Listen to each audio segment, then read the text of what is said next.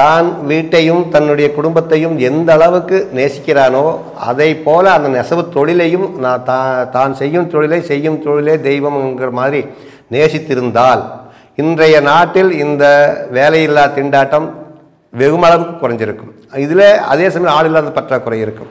இதில் மிகப்பெரிய ஒரு சாதனை நெசவாளர்கள் செய்த சாதனை என்னோட தொழில் என்னோட போகட்டும் என்று சொன்னது மிகப்பெரிய சாதனை. அப்போனா என்ன ஆயிடுச்சுன்னா அது என்னோட போகட்டும் அது எனக்கு மாத்திரமே சொந்தம் அது உனக்கு வேண்டான்னு சொன்ன மாதிரி அது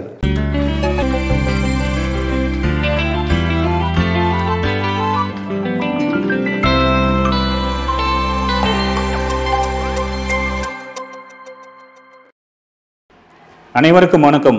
இது உங்கள் doctor M. Narayanan group of YouTube channel. இன்னைக்கு டாக்டர் நெசவாளி சேனல்ல காரப்பன் ஐயாவோட தான் இருக்கோம். நல்ல விலை வியாபாரம் இருக்கு. அந்த சமயத்தில் கூட இவங்க நல்ல வியாபாரம் இருக்கு. நல்ல சேல்ஸ் ஆகிட்டு இருக்கு. சேலைகள்லாம் தேவைப்பட்டிருக்கு. வியாபாரி வந்து சேலை சேலைன்னு கேட்குறாங்க அட்வான்ஸ் கொடுக்குறாங்க. இந்த சமயத்தில் நம்ம கூலி உயர்வு கேட்டு போராடலாம். இல்லை நல்லா ஸ்ட்ரைக் பண்ணலாம். அங்கிற மாதிரியான சூழ்நிலை இந்த நாட்டில் எங்கேயாவது நடந்திருக்கான்னு பாருங்க. அதுபோக இன்னொரு பெரிய விஷயம் நான் ஏன்னா ஏன் உயர்ந்திருக்குன்னு கேட்குறேன்னு கேட்டிங்கன்னா இந்த நாட்டில் எந்த தொழிலுக்குமே அட்வான்ஸ் கொடுத்து வேலை கொடுக்குறாங்களான்னு கேட்டால் இல்லை. ஆனால் ஜவுளித்துறையில் டெக்டைல்ஸ் துறையில் அது பனியன் ஆகட்டும் பவர்லூம் ஆகட்டும் கைத்தறி ஆகட்டும் எல்லா துறையிலையுமே இன்றைக்கி ஆட்கள் பற்றாக்குறை இருக்கிறதுனால அட்வான்ஸ் கொடுக்குறாங்க. ஒரு நெசவாளிகளும் தெரிஞ்சு தகுதியே கேட்கறதுல வயசு கேட்கறதுல தறி கொடுக்குறாங்க நூல் கொடுக்குறாங்க. அப்படி இருக்கும்போது வறுமைங்கிறது சொல்கிறதுல என்ன அர்த்தம் இருக்குதுன்னு எனக்கு புரியல. அதே சமயத்தில் நான் இருக்கும் பகுதியில் இந்தியாவிலேயே வந்து நம்ம கோவை மாவட்டம் வந்து ஜவுளித்துறையில் வந்து தமிழ்நாடு முன்னோடியாக இருக்குது. அதுவும் கோவை மாவட்டம் அது கூட நல்லாவே இருக்குது. இப்போ நம்ம பிள்ளைகள் எல்லாமே எடுத்துக்கிட்டால் ஏதோ ஒரு வகையில் வேற துறையில் போய் சாதிச்சுட்டு இருக்காங்க.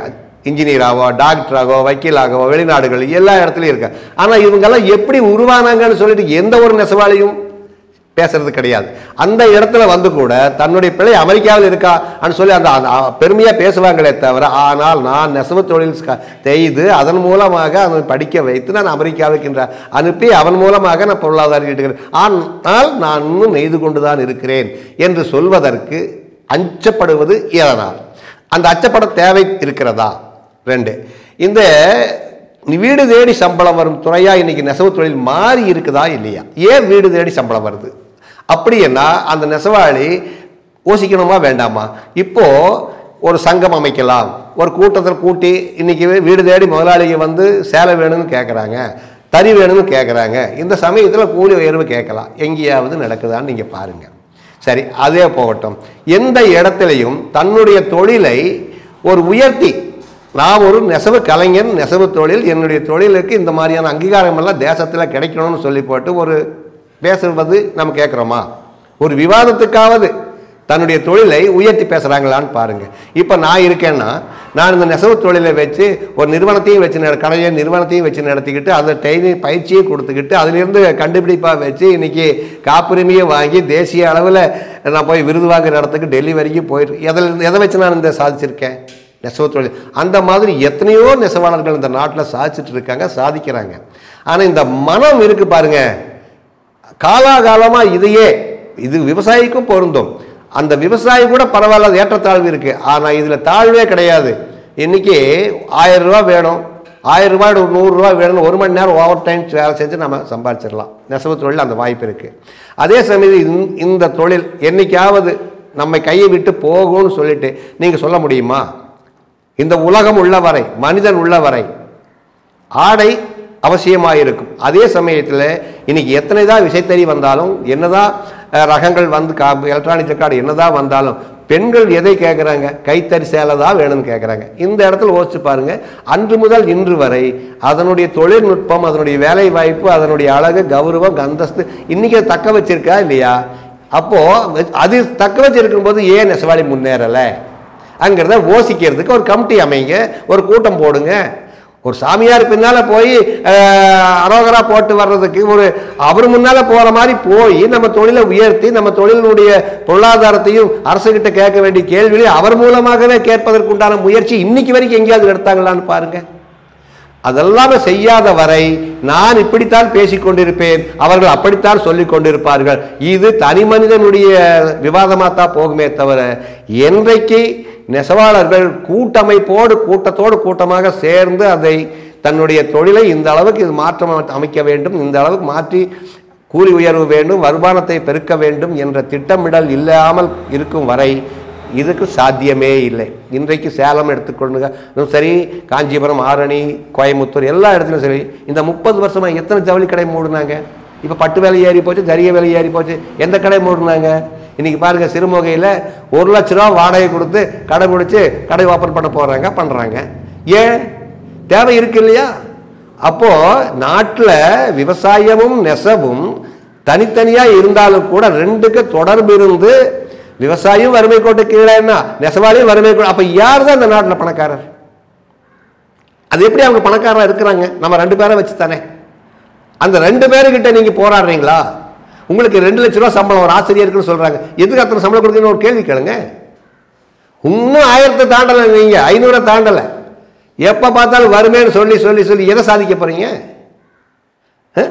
அது மாதிரி ஒரு சேலை ஏசியில் விற்கிதுன்னா அது ஏன் ஏசியில் விற்கிது அது யார் வாங்குறாங்க என்ன காரணம்? அங்கிறத தெரிஞ்சுக்கிட்டு தொழில் தொடங்கி அதன் மூலயமா ஒரு விவாதத்தை உருவாக்கி நீங்கள் மேடையில் உட்காந்து கூட்டத்தில் உட்காந்து விவாதம் பண்ணி அந்த சட்டத்திட்டங்கள் அரசுக்கு தெரிவிக்காத வரை உங்களை யாரும் விவாதிக்க மாட்டாங்க. உங்கள் வாழ்க்கை உயர போகிறதும் கிடையாது. நீங்கள் இப்படியே தான் பேசிகிட்டு இருப்பீங்க. நான் இப்படி பேசி பேசி நான் உயர்ந்துக்கிட்டு தான் இருப்பேன்.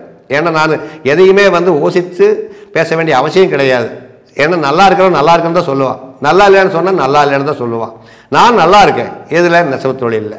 நீங்கள் நல்லா இருக்கிறது இல்லாமல் இருக்கிறது உங்கள் கையில் தான் இருக்கே தவிர அந்த தாழ்வு மனப்பான்மை தான் இந்த நெசவு தொழில் மிகப்பெரிய எதிரியே தவிர நெசவு தொழில் எந்த இடத்திலையுமே தன்னுடைய நிலையில் இருந்து அது ஒரு படி கூட இறங்காது. இன்னும் பட்டு விலை ஏறினாலும் ஜரிகை விலை ஏறினாலும் அகலம் கேட்க போகிறதில்லை நீளம் கேட்க போகிறதில்லை கடையில் பூந்தா உடனே என்ன விலைக்கு சேலை வேணும்னு கேட்டால் ஐயாயிரம் ரூபா சேலை ஐம்பதாயிரத்துக்கு விற்கக்கூடிய தகு வாய்ப்பு இந்த நாட்டில் இருக்குதுன்னு சொல்லி முப்பது வருஷத்துக்கு முதலே சென்னை சில்ஸ் விவாகா பட்டுங்கிற சேலையை காட்டி வியாபாரமும் பண்ணி நிரூபிச்சிருக்கிறாங்க.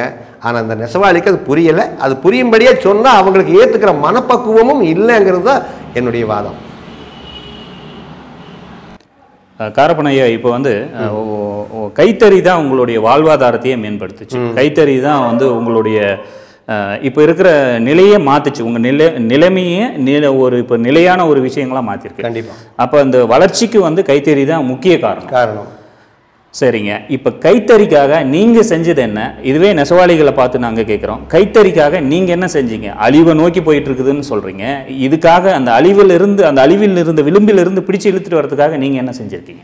பொதுவாக எல்லாருக்குமே இந்த கேள்வி வந்து ஒரு வித்தியாசமான கேள்வி. நீங்கள் என்ன யாரும் இது வரைக்கும் கேட்டிருக்க மாட்டாங்க. ஆனால் நான் என்ன நினைக்கிறேன்னு சொன்னால் ஒவ்வொரு நெசவாளியும் தான் வீட்டையும் தன்னுடைய குடும்பத்தையும் எந்த அளவுக்கு நேசிக்கிறானோ அதை போல அந்த நெசவு தொழிலையும் நான் தா தான் செய்யும் தொழிலை செய்யும் தொழிலே தெய்வம்ங்கிற மாதிரி நேசித்திருந்தால் இன்றைய நாட்டில் இந்த வேலையில்லா திண்டாட்டம் வெகுமளவுக்கு குறைஞ்சிருக்கும். இதில் அதே சமயம் ஆள் இல்லாத பற்றாக்குறை இருக்கும். இதில் மிகப்பெரிய ஒரு சாதனை நெசவாளர்கள் செய்த சாதனை என்னோட தொழில் என்னோட போகட்டும். என்று சொன்னது மிகப்பெரிய சாதனை. அப்போனா என்ன ஆயிடுச்சுன்னா அது என்னோட போகட்டும் அது எனக்கு மாத்திரமே சொந்தம் போது உனக்கு வேண்டான்னு சொன்ன மாதிரி அது. அதனால நான் என்ன சொன்ன சொல்ல வரேன்னு சொன்னால் நீங்கள் என்ன சொ செஞ்சுருக்கீங்கன்னு என்னை கேட்குறீங்க ஆனால் நெசவு தொழில் என்னை பொறுத்த வரைக்கும் அது என் தொழில். நான் என் தொழிலுக்கு என்ன செய்தேன் என்று கேட்கறதுக்கு உங்களுக்கு கே உரிமை இருக்குது அதே சமயம் நான் செய்ததை பட்டியலிட எனக்கு நேரம் பத்தாது. அவ்வளவு விஷயங்கள் நான் செய்ததனால தான் இந்த நெசவு தொழில் என்னை உயர்த்தியது. முதலில் நான் செய்தது நெசவு தொழிலை நான் உயர்த்தி பா- உயர்த்தி பேசியது அது உயர்ந்த இடத்தில் வைத்து பார்த்தது. உயர்ந்த மனப்பான்மையோட வாழ்க்கையை அந்த நெசவு தொழிலோடு ஒப்பிட்டு நடத்தியது. இன்னொரு பக்கம் எடுத்துக்கிட்டா நெசவு தொழில் மூலமாக பிள்ளைகளை மிக உயரிய கல்வி கொடுத்தது. அதன் மூலமாக வெறும் கல்வியோட ஒழுக்கத்தையும் கொடுத்தது. தன்னுடைய பிள்ளை ஒரு குடிகாரன் இல்லை அவன் ஒரு நிர்வாகி அவன் ஒரு கல்வியாளன் என்று சொல்லி அந்த பிள்ளைகளுக்கு அந்த கல்வியோட அவனுடைய சுயமரியாதையும் கொடுத்தது என்னுடைய இந்த நெசவு தொழிலுக்கு. நான் செய்த மிகப்பெரிய சாதனை அது எனக்கு சரியாக அமைந்தது.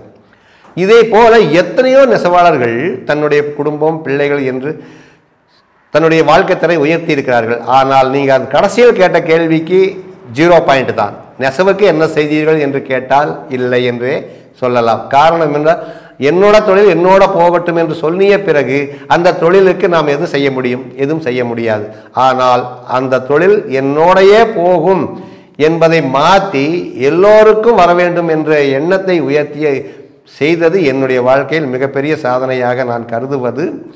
நெசவை பற்றி எதுவுமே தெரியாத அந்த நெசவு சார்ந்த குடும்பத்தில் பிறக்காத மூன்று பெண்களை இந்த ஆண்டு நான் நெசவு தொழிலுக்கு கொண்டு வந்தது என் மிகப்பெரிய சாதனையாக நான் நினைக்கிறேன். காரணம் அவர்கள் வந்து பேசும்போது நான் படித்திருக்கிறேன் வேலைக்கு போகும் பொழுது எனதுக்கு பலதரப்பட்ட பிரச்சனைகள் குடும்ப பிரச்சனை குழந்தைகள் பிரச்சனை பொருளாதார பிரச்சனை அதே சமயத்தில் நேர பிரச்சனை இதெல்லாம் என்னை வந்து வாழ்க்கையில் மிகப்பெரிய ஒரு தாக்கத்தை உண்டு பண்ணியது.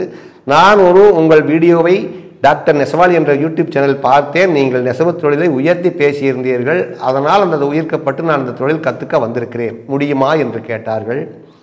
முடியும் என்று சொல்லி அந்த பெண்களுக்கு நெசவை மாத்திரமே கற்றுக் கொடுத்தோம் வந்த உடனே தறியில் உட்கார வைத்தேன். இரண்டே மாதத்தில் சேலையும் நெய்ய வைத்து கூலியும் கொடுத்து அவர்களை இன்று வருமானத்தோடு க நெசவு தொழிலை கற்றுக்கொண்டு இருக்குது என்னுடைய வாழ்க்கையில் மிகப்பெரிய ஒரு சாதனை. இன்று இனி வரும் இந்த ஆகஸ்ட் ஏழு தேசிய கைத்தறி தினத்தில் அவர்களை மேடையில் ஒரு டிஜிட்டல் பேனரில் அவர்களை படங்களை வைத்து அவர்களை மேடையில் மிகப்பெரிய தொழிலதிபர்களை அழைத்து அவர்கள் மூலமாக பாராட்டும் செய்ய போகிறேன். இதை கூட நான் என்னுடைய வாழ்க்கையில் மிகப்பெரிய ஒரு நெசவுக்கு செய்கிற பணியாக நான் கருதவில்லை. ஏற்கனவே நான் நிறைய நிகழ்ச்சிகளை செய்து நெசவு தொழிலுக்காக மிகப்பெரிய கௌரவ விருதுகளையும் நான் கொடுத்திருக்கிறேன். அதுபோக எனக்கு என்ன இதெல்லாம் செய்யும்போது நெசவு தொழில் கொடுத்து கொண்டே இருக்கிறது என்று கேட்டால் சாதாரணமாக பஸ்ஸில் போவதே எங்களுக்கு பெரிய விஷயமா இன்று நான் டெல்லிக்கு விமானத்தில் பறந்து போய் வருகிறேன். அது எனக்கு நெசவு தொழில் கொடுத்த ஒரு அங்கீகாரம். பார்லிமெண்ட்டு மெம்பர்கள் கூட்டத்தில் பேசுகிறேன் அதுக்கு நெசவு கொடுத்த அங்கீகாரம்.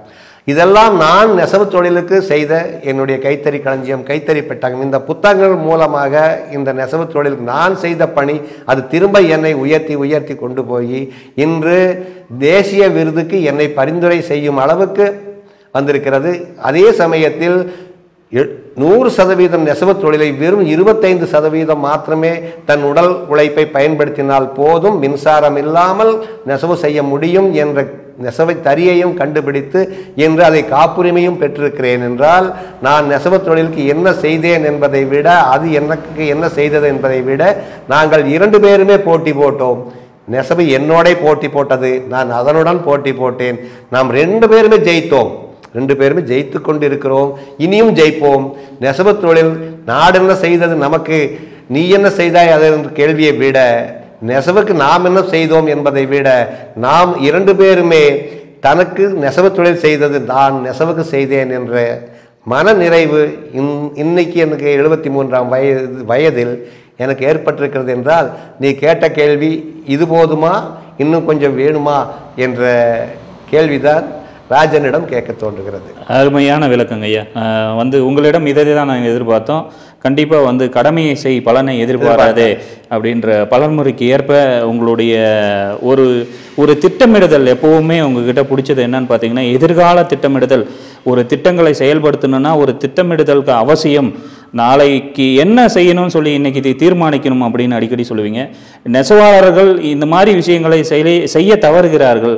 அவ ஒழுக்க ரீதிகளை காட்டிலும் வந்து நிறைய விஷயங்களை வந்து அவங்க வந்து இதிலிருந்து தவறியதுனால தான் வந்து நான் சரியான நிலைக்கே அடைய முடியல. உயர்ந்த உயர்ந்த எண்ணத்தோடு எப்பவும் தன் செய்கின்ற செய்கின்ற வேலையை உயர்ந்த எண்ணத்தோடு பார்க்கணும் அப்படின்னு எப்பவுமே சொல்லுவீங்க.